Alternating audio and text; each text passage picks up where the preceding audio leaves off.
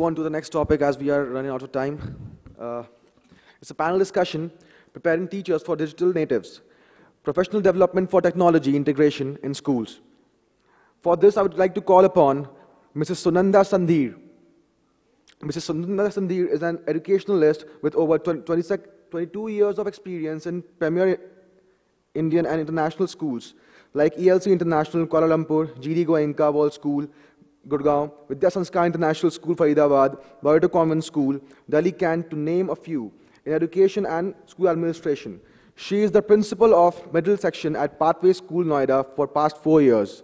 Ladies and gentlemen, Mrs. Sunanda Sandhir. And we have Mrs. Sangeeta Gulati. Mrs. Sangeeta Gulati is academic coordinator and head of mathematics department at Sanskriti School in New Delhi. Ladies and gentlemen, Mrs. Sangeeta Gulati. And we have Mrs. Trip, Mrs. Kirti Tripathi, head curriculum development and technology integration, Amity International Schools. Ladies and gentlemen, Mrs. Kirti Tripathi. And we have our moderator, Meenakshi Uberoi, she is an education evangelist and founding director of Pedagogical. Ladies and gentlemen, Ms. Meenakshi Uberoi. Very good afternoon, everyone. Are you with me? Can I have a show of hand if you're with me, please? A show of hand if you're with me. Thank you. Normally, what I do with my students would be a show of hand, one hand up. May I have a hand up, please? Another hand up and cross your arms. But right, you're not students, you miss it as you want to. So it's all right. Uh, I don't think we have more, much to cover because so much has been said since morning. Just a minute. Uh, with due respect to everything that's been covered, we would go and dwell into an area which is yet to be explored. That's professional development. Who's going to train? So who's going to tell me uh, what to train, whom to train, what are the policies, what is it that schools should do or shouldn't do. Uh, with that, I'll put forward my first question to the panel. What is your reason for integrating technology? Why should you have technology integrated into your curriculum? One of the, I think, questions that was asked this morning was this. Anybody who would like to take it? For me, it's uh, personalized learning experiences because the advent of uh, data analytics, which is uh, creating a lot of learning spaces and uh, helps in doing the personalized learning space and differential learning. So for me, I think that's the first thing which I would like to put across.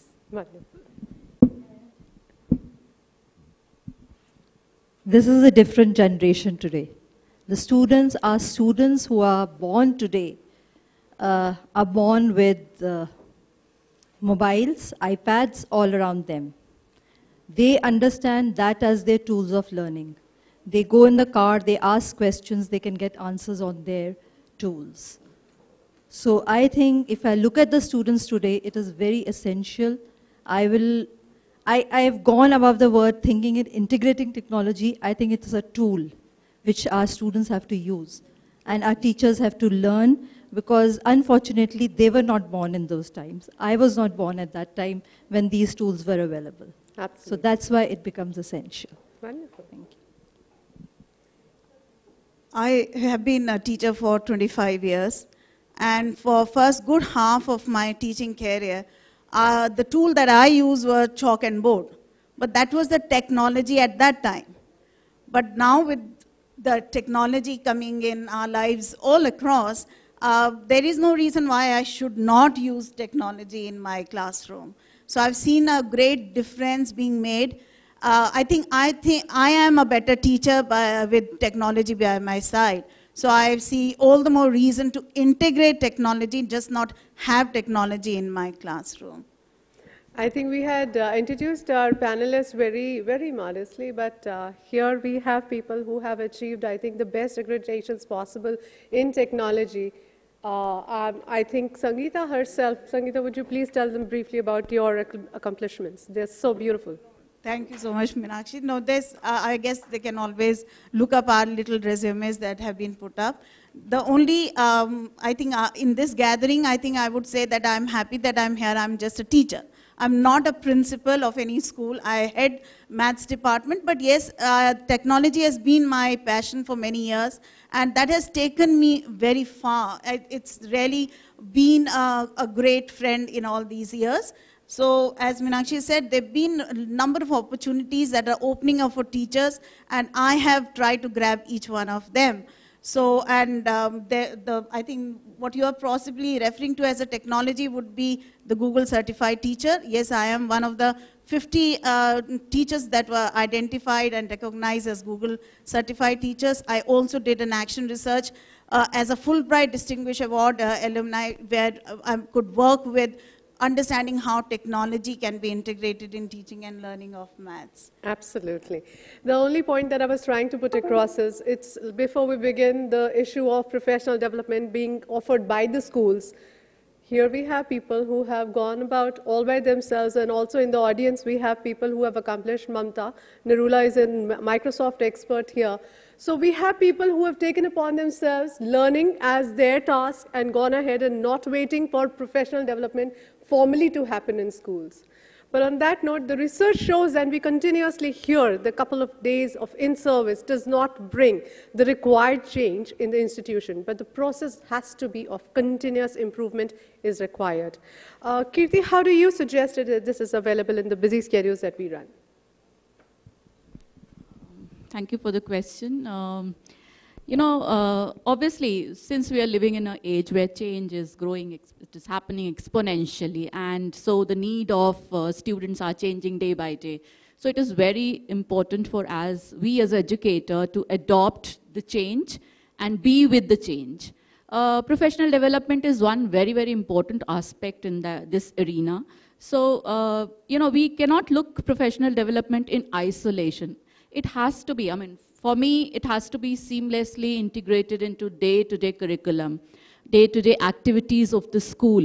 So um, to do so, we have to really devise certain strategies, maybe something like, um, of course, time constraint is one of the major deterrent in this area, but uh, strategies like uh, one day PD in a month can be one of the very good strategy where you can have uh, teachers meeting together, and uh, you know planning out their lessons integrated uh, you know integrational technology can be uh, discussed with them.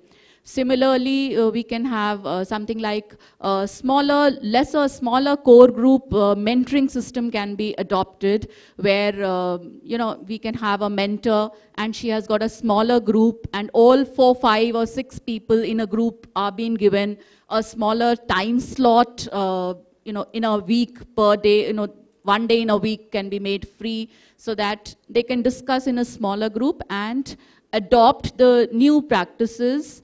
So, uh, you know, these are the things which I feel as a teacher, they were, uh, there is a lot of, uh, you know, due to the lack of support, teachers felt that they are unable to adopt to the technology. So if we provide right kind of a support, right kind of a strategies, things are going to be falling in place. Thank you very much.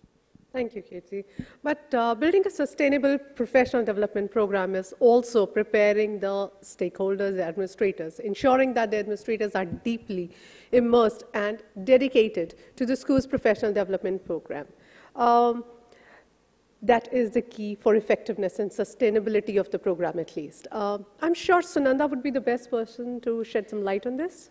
Uh, okay, I agree that professional development programs and what I believe, as it was said by our previous speaker here, that uh, one, the professional development programs of keeping teachers and getting them ready and teaching them and, uh, you know, standing in front, lecturing them and getting them, uh, is not, it will not help us to sustain. They have to be a part of the program. Setting up a culture of learning in the school is absolutely essential for uh, any professional development program.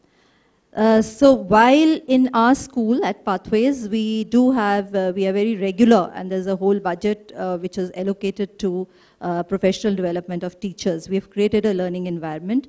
Every Thursday, the students are sent early and the teachers stay back on at 2.30 where they get together and discuss various issues. There are teachers who will take professional development for each other we are getting into professional learning communities where they can take in charge, they can take responsibility of their own learning. then only you can have these kind of programs which are sustainable. You have to create that environment of learning. Uh, it's self-learning is important. There's no point if there's a person who comes here and learn, uh, teaches, does a professional development course for a day. I, I don't think teachers are able to learn that way. It's, right, that they have to be trigger. Yes. Yeah, right. that could only actually trigger learning. That could only create a starting point. She can only act as a catalyst. The rest is up to the teachers and the stakeholders. Uh, Ms. Sangeeta, how do you ensure that ongoing professional growth in technology, fluency and integration, uh, sorry, integration for yourself, students, as well as teachers? Uh, the technology changes very fast. And uh, anytime I pick up a tool, I start using it. And if I don't keep up with what's happening in that particular field, uh, very soon uh, it would be possibly advanced so much that I won't know what I'm doing next time I put my hands on it. Uh, and the development or advancement would be possibly to make me better in using all of that. So in order to keep up all of that, again, technology comes to my help. So I uh, follow blogs uh, of many great educators. I uh, am on Twitter, but as mostly as a consumer because there's so much information that comes along that way. And uh, I also have a must try, must do list which keeps growing, which uh, where I keep adding that I must follow up this and see how I'm going to use it in my classroom. And uh, I share that with all my colleagues, and I do also conduct workshops for teachers as and when I get an opportunity and share my learning so that if I have got something which I feel is strong enough for uh, to be used in a classroom, then others must benefit as well from there. Wonderful, wonderful. Uh, Kirti, how in your opinion should uh, the leaders model or promote the frequent and effective use of technology in learning? Okay, uh, first thing I will say that there has to be a good organizational culture which is pro-technology. I mean, that's very, very important, I feel, because, uh, you know, the flow of technology integration should follow right from the top till bottom into the hierarchy. If, if you know, we are thinking only teachers are going to use technology and other people are just going to be stay away from it, it is not going to be of much help. A leader has to lead by an example. So there has to be a good mix of uh, usage of technology in, in administrative as well as in day-to-day -day activity along with teaching learning process. So that's very, very important aspect which I feel. Secondly, a good network uh, because you can say a support network, which is very important, be in terms of, um, you know, solving the tech-related problems, maybe a kind of administrative problems. So a good support network is very important. Thirdly, we need to encourage teachers because, see, we are not in that generation where uh, technology is uh, that often used. We are not belonging to that kind of a generation. So we need to promote the usage of technology by uh, in, uh, giving some incentive associated with it. Maybe a teacher who's using it, we should promote her usage. Uh, so I think these are the three important aspects which I feel are uh, going to create a strong organizational culture. Thank you. Wonderful. Yes, uh, help desk is absolutely important because I know the moment you have a glitches, you just put away your laptop and you move on. So, Mr. Nanda, if uh, we create a new uh, professional learning community to focus on serious implementation of 21st century skills that we've been talking about since morning, what or how would it look like? It's very interesting that this year only we have uh, opened our school to professional learning communities. We've already teacher this, uh, this was one of our goals for this year for our teachers to create professional learning communities for ourselves uh, in our school. So first, most thing I must tell you that for an effective professional learning community, it's very important to have a lot of collaboration in the school among the teachers. And when I say collaboration, it's not co cooperation, but collaboration trusting each other, and that's where the role of a leader is very essential. Because we have to create an environment of not competitiveness, which I, I liked what uh, Sangeeta had said, sharing and learning from each other. So that environment can, that culture can only be set by our, us as, uh, as leaders over here. And once that environment uh, is created, the learning to grow and learn from each other happens. So that kind of professional learning communities we are planning. What we've done is that we have uh, given out topics, and I'm not talking only about technology. Technology for me is a tool. It's about learning about the changing mindsets, about the growth mindsets, about different strategies, and the teachers have to choose and come together. So we've just begun this year, and they have to, uh, we have laid down a structure where they will choose, and then once they get into their professional learning commun communities, they will set a goal, they will share their goals with us, and then we'll see how it moves on. Wonderful. But basically, a goal is very important to set their targets when you set professional learning communities is essential. I think what you've just put forward is pretty doable. Um, what, according to you, Sangeeta, is the most important parameter that is needed for teachers training who are terrorized by technology? Uh, how can we motivate those teachers into bringing transformation in their classrooms? People who, who are, uh, technology is a no-no to those people. Yeah, I guess uh, just like we have students of different abilities in our class, we have teachers also of different abilities. They have their strengths. So technology may not be their strength. And that is exactly why they are a little uh, scared of uh, adapting it. Uh, but at the same time, if these same teachers are given time uh, and uh, are maybe motivated to take some baby steps to start off, that goes a long way. But I've also found if they see uh, or uh, maybe attend a session where a success story is being shared, and they see that it has made a difference, then they do get encouraged and they want to learn and take it forward as well. Yes. So that has definitely made a difference. Therefore, the need of celebrating good practices and sharing sure, them. Sure, sure. All right. So what are the different pedagogies uh, made possible only with the use of technology could, uh, Kirti, could you please share some of those if you can? Yeah, I will share some of my experiences. Uh, I am in the forum of technology integration only. So uh, we have incorporated at Amity, we've incorporated certain practices like flipped lessons. We have incorporated project-based learning we did um, something, some kind of uh, experimental learning also. So uh, these are the areas which, uh, obviously these uh, things can only be uh, possible with technology intervention.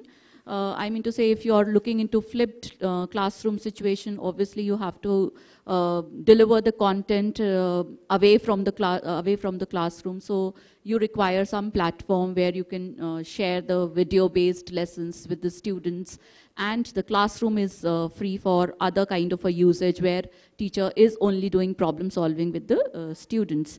Likewise, project-based learning also, uh, since it offers project-based requires a lot of collaboration and research. So obviously a lot of technology integration is required over there. Uh, we've used uh, uh, a web questing platform to provide, you know, description of a project so that a complete uh, modeling of a project is being showcased to the student prior to the attempt. So uh, obviously these things are not possible other way around without the intervention of technology. So these are the two things which I would like to add on. One last question before I wind up this session, which I think rides on everyone's mind. Which are the great programs other school leaders or teachers should join, which can provide them with professional development and training uh, they had for new instructional leadership roles for this digital age. Uh, coming from a person who's leading in this industry, I'm going to put this forward to you. So let me put it as, apart from De Pedagogics, where should they go? Okay. Uh, there are, uh, in fact, you know, as I tell my young colleagues, uh, that this is the best time to be a teacher.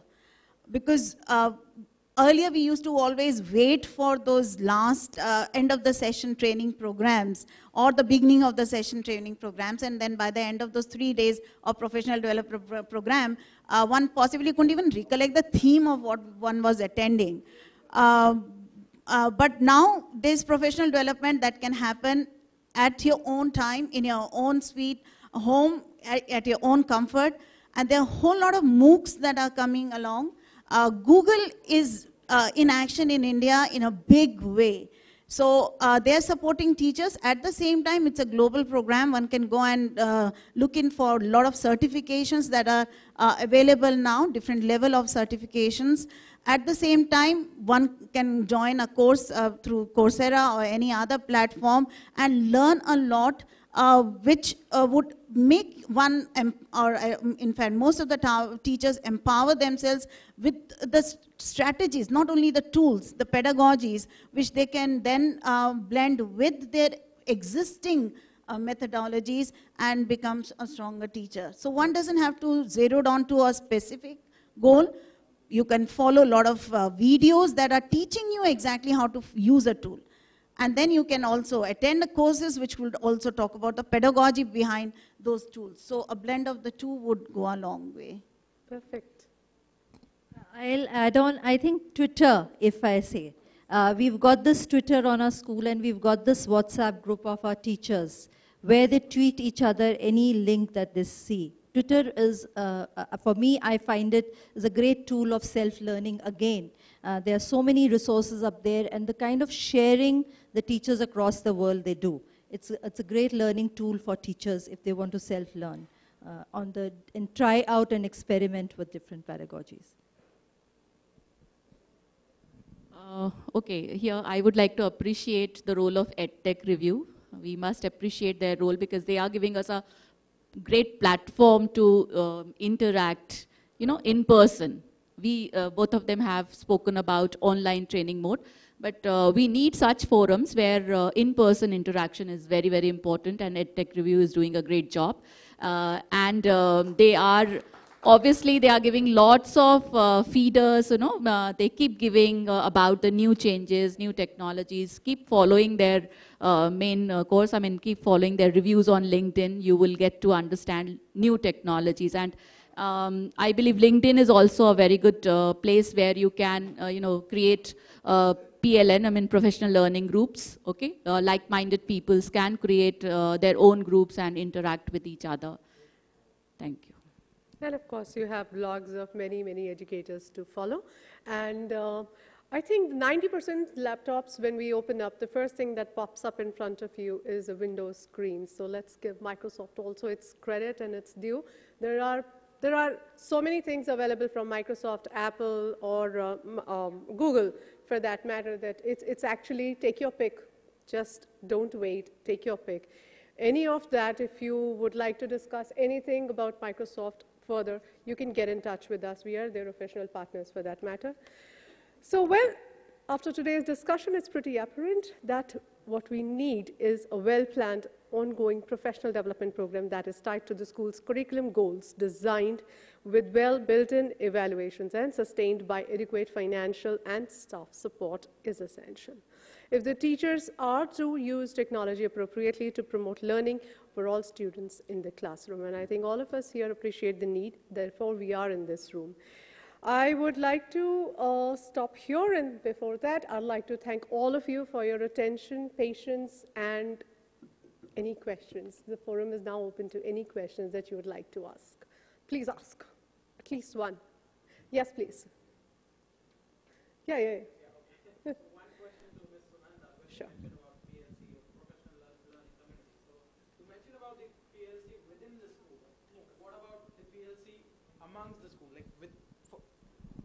between the schools so so that it is a school to school collaboration as well so because that that is also what we are trying to achieve uh, as well so i just wanted your thoughts so that because you, would know better from a school leader's point of view. Definitely. I mean that would be great but uh,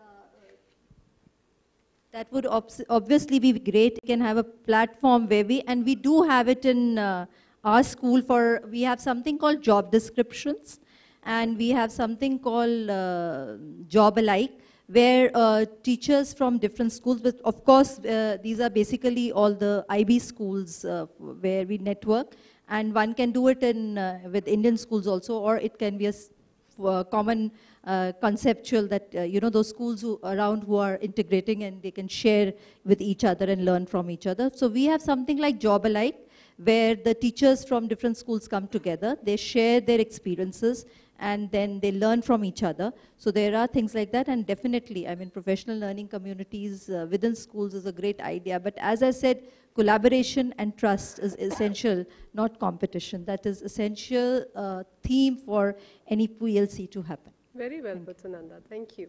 Any other question here? Yes, please. Any other question? All right, between you and the tea break is only me, so I will stop talking here. And anyone who would like to discuss anything with the panelists or us, we are available at the tea time. Thank you very much.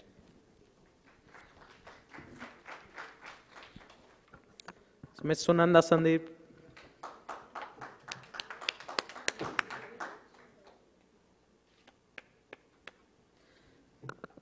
Ms. Sangeeta Gulati.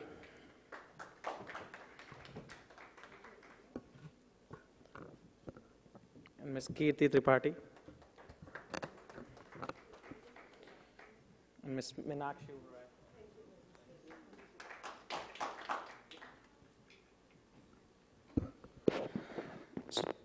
Thank you all the panelists for amazing session. Once again, I would like to thank our uh, principal partner, Knit Messaging, and uh, associate partners uh, without whom this conference would not have been possible, Bonio, Flint, Explorers, and Kidzania, and also our media partners, uh, The Progressive Teacher and the Curriculum Magazine. So let's end this conference by taking home many great ideas, and uh, let's discuss today's learning over the cup of tea and coffee, and uh, maybe, maybe start the community building from today onwards. Thanks to all the delegates for taking out the time. Thank you.